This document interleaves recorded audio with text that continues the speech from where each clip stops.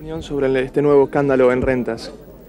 Y que es el resultado de la denuncia que nosotros mismos hicimos, porque de lo que venía investigándose antes de asumir, se ha seguido investigando ahora, se han hecho nuevas comprobaciones, el señor Galtieri hizo la denuncia y por eso el juez viene actuando y ha encontrado que se sigue, porque esto es lo denunciamos, tenemos varios focos de corrupción y en la conferencia de prensa del último martes informé yo con un amplio listado los 24, 25 causas en que estamos actuando como querellantes y las maniobras que estamos detectando en distintas áreas, de modo que sepan los corruptos que les andamos atrás y que apenas los pesquemos pasan a la justicia. Queremos defender al buen empleado municipal, no al que roba, al que comete irregularidades.